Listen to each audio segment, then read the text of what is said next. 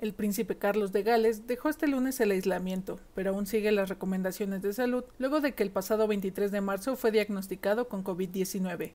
El heredero a la corona de 71 años de edad pasó siete días sin presentar mayores síntomas por la enfermedad, que usualmente ataca de manera agresiva a personas de edad avanzada.